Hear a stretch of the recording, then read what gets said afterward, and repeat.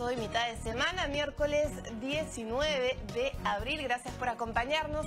Vamos a informarles que las ediciones del diario El Peruano, comprendidas entre 1826 y 1900, serán declaradas como Patrimonio Documental Bibliográfico Histórico de la Nación. Tras ese objetivo, la Biblioteca Nacional del Perú y también Editora Perú firmaron un convenio que bueno, permite iniciar dicho proceso. Algunos de los artículos consignados son el discurso de despedida del libertador Simón Bolívar, la ley de libertad de los esclavos que rubricó el presidente Ramón eh, Castilla y también el telegrama enviado desde el fuerte Arica en que brillaba la respuesta del coronel Francisco Bolognesi el enviado chileno resistiremos hasta quemar el último cartucho. Estos ejemplares son evidentemente únicos y se salvaguardan en el local de Girón Quilca 556, esto en el cercado, el centro de Lima.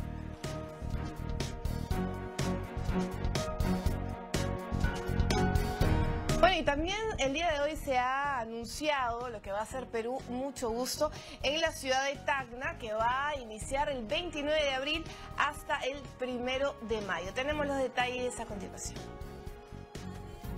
Puca picante, seco a la norteña y rocoto relleno son solo algunas de las 100 tentadoras propuestas que se presentarán en la Feria Gastronómica Perú Mucho Gusto, que este año se realizará en la ciudad de Tacna va a reunir a 21 regiones. La última edición en Tacna, que fue hace dos años, estuvieron presentes 11 regiones. Es decir, que estamos casi todo el Perú presente a través de la gastronomía. La feria organizada por PROM Perú se llevará a cabo en el Parque Perú. En el evento participarán restaurantes, cocina de campo, picanterías, carretillas, entre otros. La especialista en historia gastronómica Isabela Solórzano destacó la relación que según ella existe entre nuestros platos y la historia nacional. No hay ningún plato en el Perú que se espere con tantas ansias como el picante a la tagneña. En principio, por su cocción, echa, más de 10, 12 horas. Es una especie de una metáfora de la, de la resistencia y de la espera de la devolución de Tacna a la patria. Se espera la asistencia de 30.000 personas, de las cuales el 15% serían turistas chilenos. Tiene la parte de gastronomía, que es la parte más importante, tiene la parte artesanal, así como también va a tener clases magistrales y, y espacios de entretenimiento. Esta feria gastronómica se realizará del 29 de abril al 1 de mayo.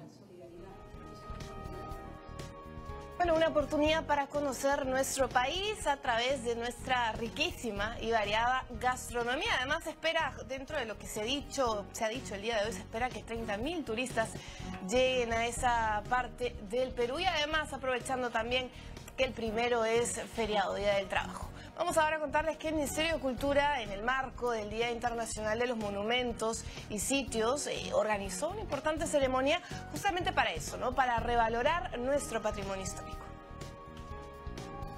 Una visita a Machu Picchu, Chavín de Huántar, el Museo del Señor de Zipán y otros lugares históricos no solo nos permite conocer nuestro pasado, sino también salvaguardarlo.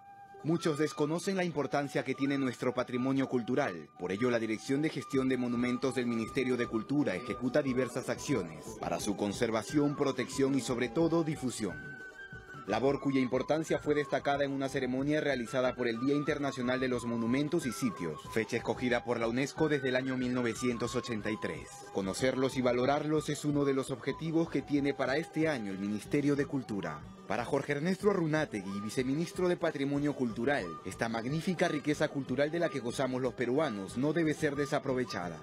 Yo les invito primero que en nuestra vida cotidiana reconozcamos ese valor, esa riqueza que muchas veces no nos damos cuenta o, no, pasa desapercibida frente a nuestros ojos.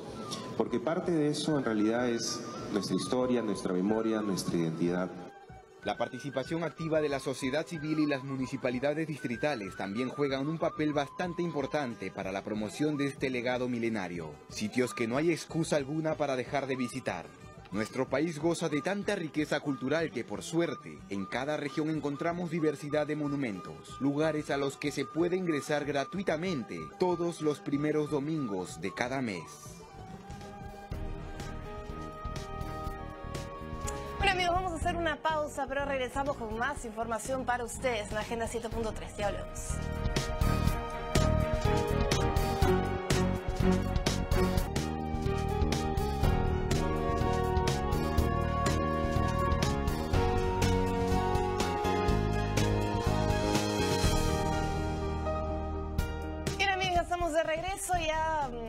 Punto de terminar. Vamos a contarles que hoy se ha organizado, se ha llevado a cabo, mejor dicho, un encuentro entre diversas organizaciones culturales de la sociedad civil para presentar la campaña Más Cultura, Más Perú, que propone que el presupuesto asignado al, al sector cultura llegue al 1% del presupuesto nacional, tal como recomienda la Organización de las Naciones Unidas y además teniendo en cuenta que actualmente solo se destina el 0.32 en la presentación que se llevó a cabo en el Congreso hace algunos minutos en realidad contó con la participación de congresistas y del ministro de Cultura Salvador del Solar. Escuchemos un poco de lo que fue su participación.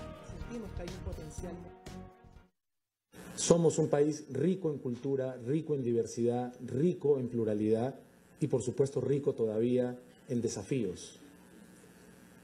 Unirnos a una campaña que nace de la sociedad civil pidiendo que el sector cultura llegue al menos a la recomendación del 1% que plantea UNESCO es decirnos a nosotros mismos, pongamos a la cultura en el centro de nuestra preocupación, en el centro de nuestro corazón.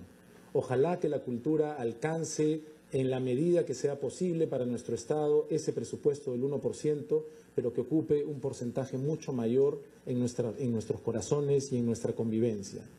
Los felicito a todos los organizadores de, de esta iniciativa. Les ofrezco, como ministro de Cultura, el apoyo para que juntos consigamos que cada vez más recursos se dirijan a la cultura de nuestro país y les, y les ofrezco el compromiso de que estaremos de la mano de las iniciativas culturales que quieran tener un impacto, comenzando por el espacio público, que es el lugar en el que permanentemente nos encontramos o nos desencontramos los peruanos. Hagámoslo cada vez mejor. Muchísimas gracias. Escuchábamos al ministro dentro de este, esta campaña Más Cultura, Más Perú, comprometiéndose ¿no? en todos estos retos que tiene la cultura en nuestro país y utilizarla como herramienta para tener mayor identidad y para poder luchar contra la inseguridad y distintos males que aquejan a nuestro país. Con eso nos despedimos. Muchísimas gracias por acompañarnos. Continúen en nuestra sintonía. Adiós.